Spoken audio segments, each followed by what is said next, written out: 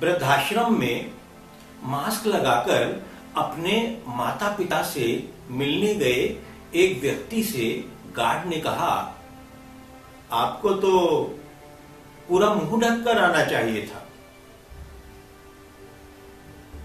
मित्रों, मैं आज आपको जो कहानी सुनाने के लिए उपस्थित हुआ हूँ, वो कहानी है खलील जिब्रान की दूसरी भाषा। ये कहानी का शीर्षक है। इससे पहले मैंने आपको बिना शीर्षक के एक छह लाइनों की लवकथा सुनाई। ये लवकथा कैसी लगी आप हमें बताइएगा। खलील जिब्रान की कहानी सुनाना शुरू करूँ, उससे पहले मैं आपसे आग्रह कर लेता हूँ कि आप अगर पहली बार चैनल पर आए हैं तो सब्सक्राइब कीजिएगा और घंटी का बटन दबाकर सारे नोटिफिकेशन को ऑल नोटिफिकेशन को ऑन कीजिएगा। खलील जिब्रान की ये लौकथा मैं अपने कोलकाता वाले प्यारे से पैंसठ साल के युवा दीप ठाकुर को समर्पित करता हूँ। मेरे साथ आप ईश्वर से कामना कीजिए कि वो शीघ्र स्वस्थ हों। सुनिए कहानी दूसरी भाषा। मुझे पैदा हुए अभी तीन दिन हुए थे। और मैं रेशमी झूले में आराम से लेटा हुआ था। और संसार को बहुत अचरज भरी निगाहों से देख रहा था। आसपास की दुनिया को, एक नई दुनिया को समझने की कोशिश कर रहा था। तभी मेरी माँ ने आया से पूछा, कैसा है मेरा बेटा?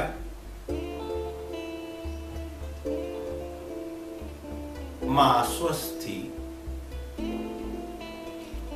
कुछ दिनों उन्हें बिस्तर पर बिना कामकाज के आराम करना था।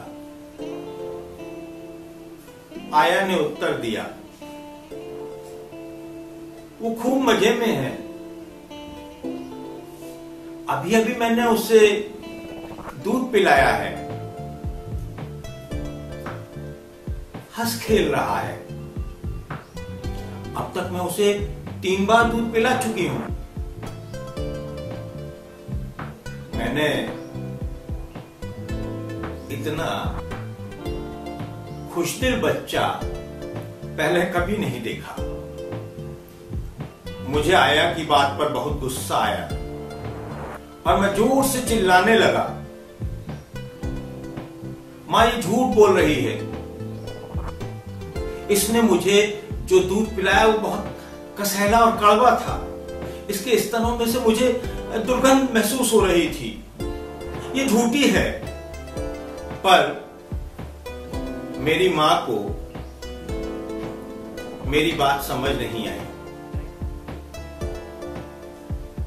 क्योंकि मैं जिस दुनिया से आया था, वो इस दुनिया की भाषा नहीं थी। न मेरी बात को माँ समझ सकी और न आया।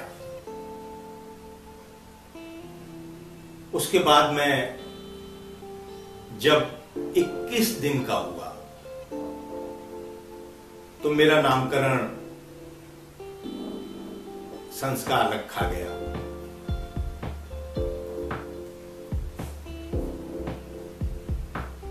नामकरण के लिए बुलाया गया पादरी मेरी माँ से बोला, आपको तो बहुत प्रसन्न होना चाहिए। क्योंकि आपके पुत्र ने ईसाई परिवार में जन्म लिया है। वो जन्म से ही ईसाई है। मैं इस बात पर बहुत आश्चर्यचकित हुआ।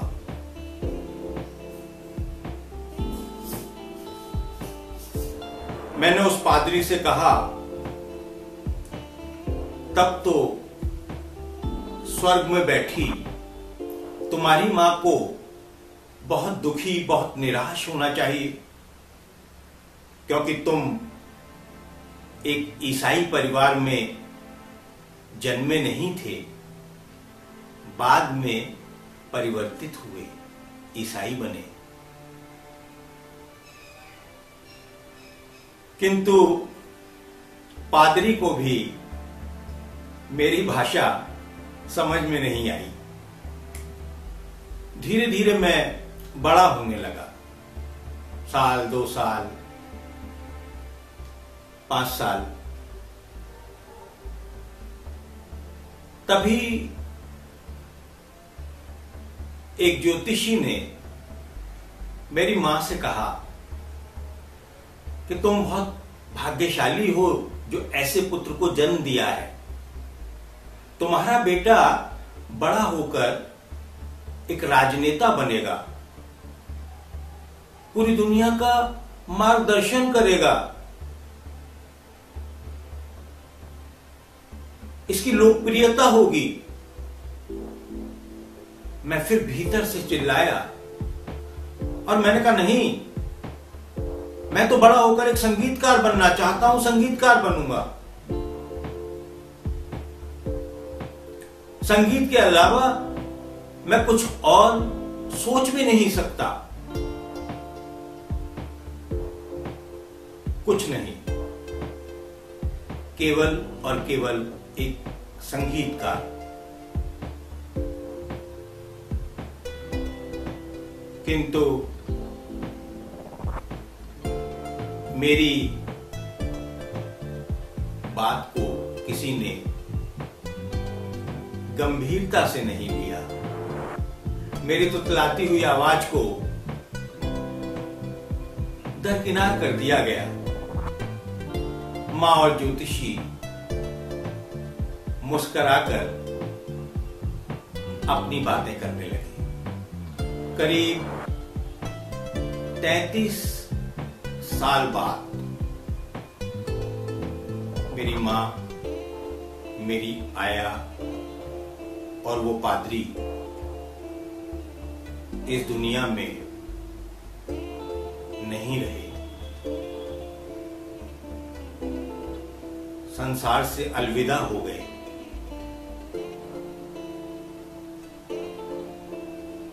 किंतु वो ज्योतिषी अभी जीवित है। एक रोज वो मुझे एक धर्मस्थल के, मंदिर के, या गिरिजाघर के दरवाजे पर निकलता हुआ मिला।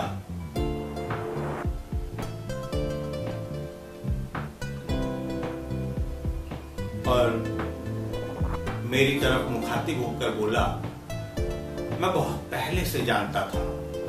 मैंने तुम्हारी माँ को बचपन में ही बता दिया था कि तुम बड़े होकर एक महान संगीतकार बनोगे।